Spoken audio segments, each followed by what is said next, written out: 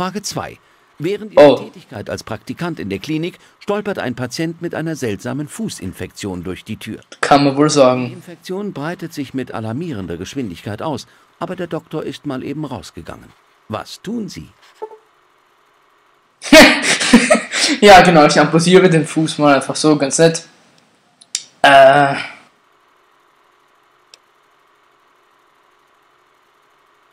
Das wird. Hallo, bin ich ein. Ja, das gibt ihm wohl medizinisches Miss Wissen.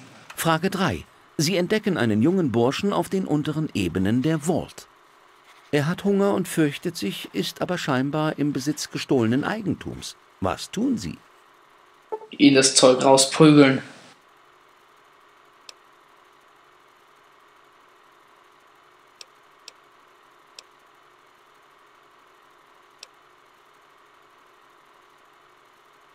Nein, ich bin bestimmt keine Petze. Frage 4. Glückwunsch. Sie haben es in eines der Vault 101 Baseballteams geschafft. Wir haben Baseballteams? Position bevorzugen Sie? Ich hab.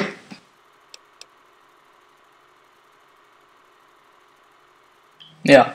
Frage 5. Ihre Großmutter lädt Sie zum Abendessen ein, reicht Ihnen dann aber eine Pistole und befiehlt Ihnen, einen anderen Vault-Bewohner zu töten. Was zur Hölle? Was tun Sie? Das soll mein Beruf vermitteln, alles klar. Ist das Ihr Ernst? Mm, Oh Gott. Naja, aber könnte ich schon brauchen, die Minigun. Äh. Ja, das wird wahrscheinlich mein Karma da erhöhen.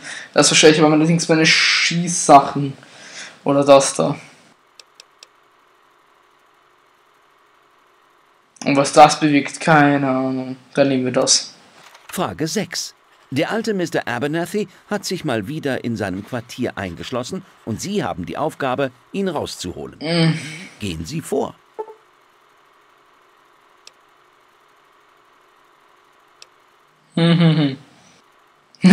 Ja, genau, das mache ich. Ja, das wird mein Schloss knacken hören, das ist gut. Das brauche ich.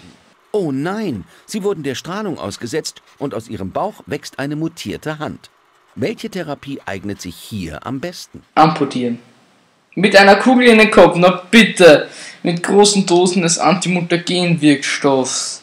Beten, vielleicht schont Gott, vielleicht verschont Gott sie im Austausch gegen ein Leben voller frommer Hingabe. Frommer Hingabe, nicht frommer. Äh, ja, Frage 8. Ein Bewohner der Vault 101 ist im Besitz eines Grognak der Barbar Comicbands erste Ausgabe. Sie wollen ihn unbedingt haben. Wie bringen Sie es am besten in Ihren Besitz? durch Tauschhandel.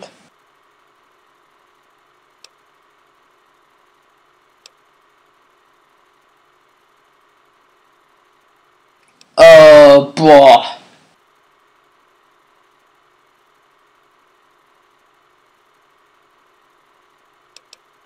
Ja, Handel muss auch noch verbessert Sie werden. entscheiden, es wäre lustig, Ihrem Vater einen Streich zu spielen. Sie schleichen sich ungesehen in seine Privaträume und Wahrscheinlich wohne ich noch bei meinem Vater, aber gut. Schließlich bin ich ja bloß 16. Obwohl ich weiß nicht, wie das dann in der Vault ist. Lösen Sie die Schrauben an eine Rohren.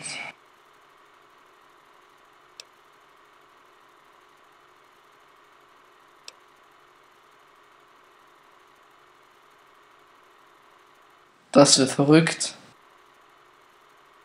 Äh. Nein, auf keinen Fall. Ja, das ist gut.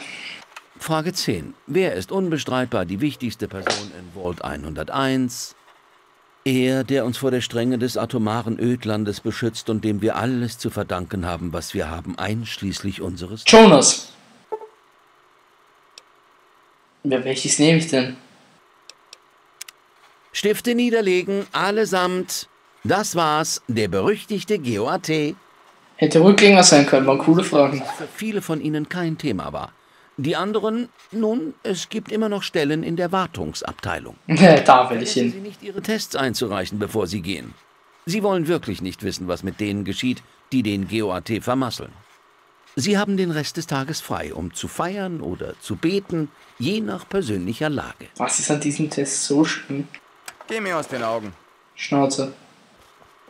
Muss ich diesen Beruf dann eigentlich auch ausüben, den ich jetzt hier habe? Tja, tja. Bitte schön, Mr. Broch. Ich hoffe, ich hab's gut gemacht. Machen Sie sich mal keine Sorgen, Miss Almodovar. Mal sehen. Aus. Ja, das war ja klar. Ich denke, für Sie steht eine Karriere als Aufseher an. Danke. Bis morgen dann. Sie unterrichten. Ich bin fertig. Also, Butch. Butch, darf ich zugeben, dass ich diesen Tag schon lange herbeigesehnt habe? Erlauben Sie mir, diesen Moment auszukosten. Na gut, dann wollen wir mal sehen. Hm. Wirklich Was denn? interessant.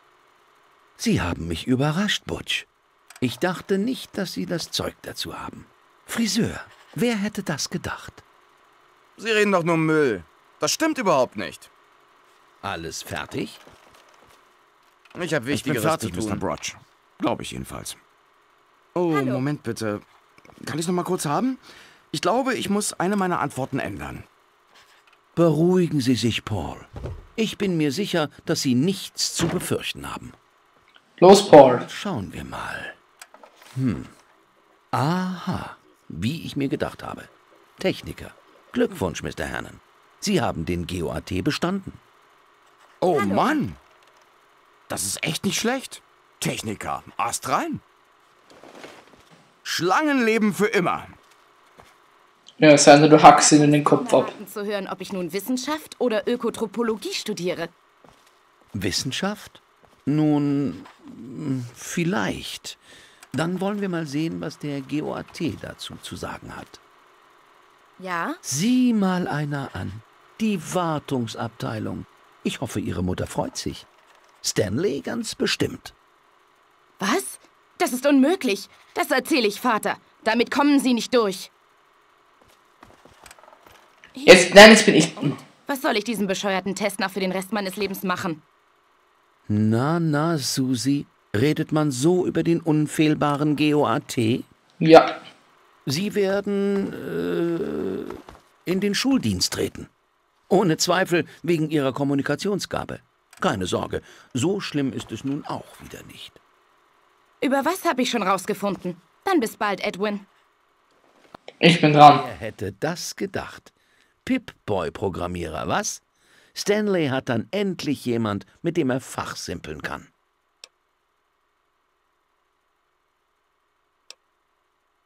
Ah, ich ich habe gelesen, meine Tränen sind endlich wahr geworden. Ja, ja.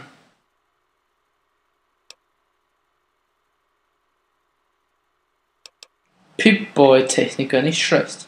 Ja, äh, es ist erfrischend, so viel äh, jugendlichen Enthusiasmus zu sehen.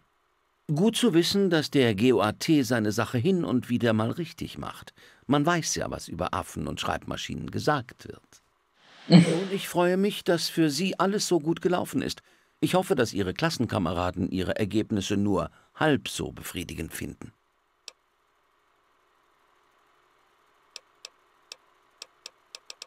Ah, scheiße, Sprache, Wissenschaft und Medizin. Es war mir eh klar, aber dass es so heftig ist, wusste ich echt nicht.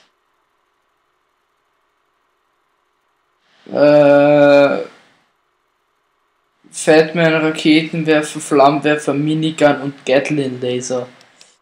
Was ist die Kleinwaffen? Ja. Das auf alle Fälle.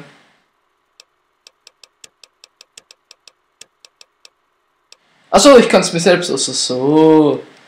Nur kein Stress, kleine Waffen. Ah, bestimmt wie viele Trefferpunkte sind mit einem Steam Pack wieder zurückgewinnen, das ist schon wichtig. Dietrich allerdings auch. Große Waffen kann warten. Nahkampf brauche ich jetzt auch nicht so unbedingt. Andererseits Nahkampfwaffen wäre schon ganz praktisch schon am Anfang mit Munition. Ah, Schande.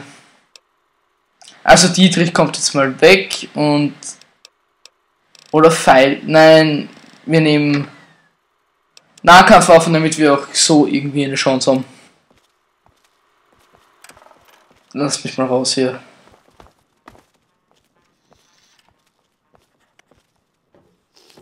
Ich bin fertig hier. Wasser. Wissen, was be- Wir sehen uns ich weiß dann schon. Nein, wieso jetzt? Genie zu sein, um diesen Witz von einem Test zu knacken. Oh, 19. Sieh mal, genau wie dein Vater. Du solltest diese Dinge wissen.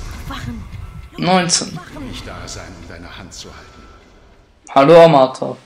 Na los, du musst endlich aufwachen. Bin schon wach. Du musst weg von hier. Dein Papa ist weg und die Leute meines Vaters suchen nach dir. Nach mir.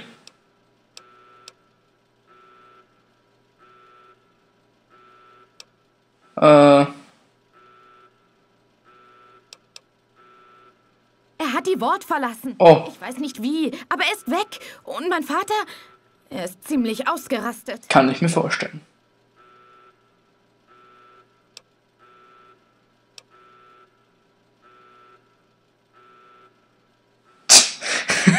ah, das ist gut. Aber ist unpassend. Das ist Jonas. Sie haben ihn umgebracht. Die Leute meines Vaters, sie haben ihn mitgenommen und ihn... Oh mein Gott, du musst gehen. Sofort. Jonas? Wieso der? Ich, was hat der jetzt damit zu Ah, sie redet zuerst von meinem Vater, dann von mir und jetzt von Jonas. Ey, das ist so krank.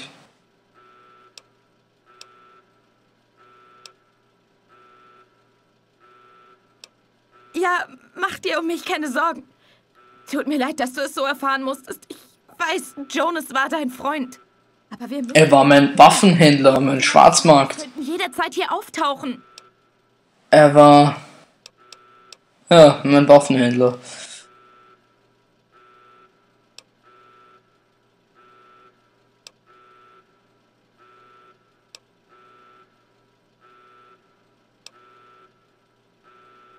Genau das habe ich gemeint. Sehr gut. Einen geheimen Tunnel, der vom Büro meines Vaters direkt zum Ausgang führt. Du musst den Computer in seinem Büro hacken, um ihn zu... Oh nein, Hacken. Hier, damit kommst du in sein Büro. So komme ich jedenfalls immer rein. Ja.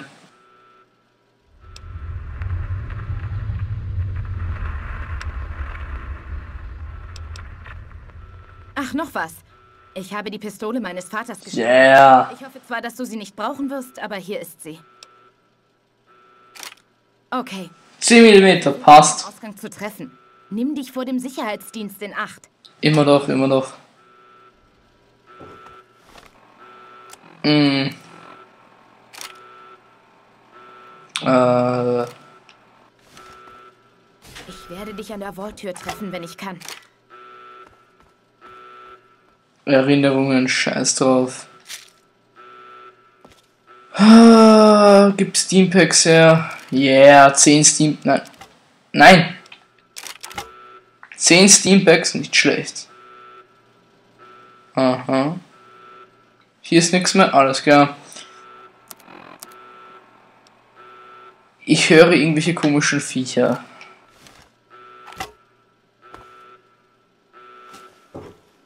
Da ist er. Bleiben Sie sofort stehen!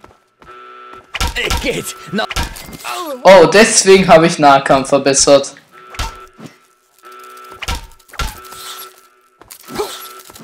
Ja, komm, du stirbst auch nicht, gell? So. Kann ich nicht? Ah, verdammt. Oh nein, das wollte ich nicht.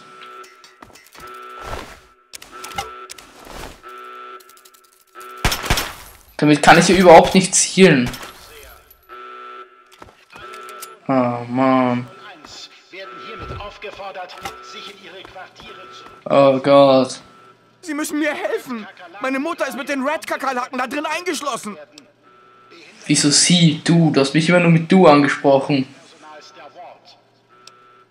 Jeder Ansässige, der außerhalb seines Quartiers angetroffen wird, muss mit schwerwiegenden Konsequenzen Hm.